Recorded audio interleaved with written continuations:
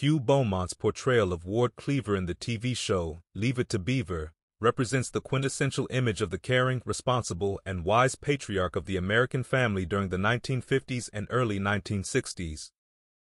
Ward Cleaver stands as a role model, embodying the values of integrity, patience, and guidance.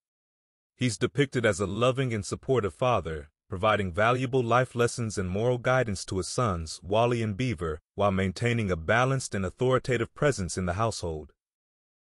Hugh Beaumont's portrayal of Ward Cleaver is characterized by his calm demeanor, reliability, and approachability.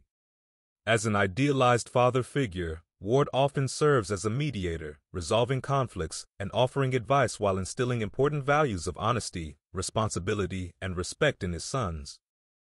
Ward Cleaver's character in Leave It to Beaver represents the epitome of fatherhood during the post-war era, where his role as a provider and mentor is intertwined with compassion and understanding.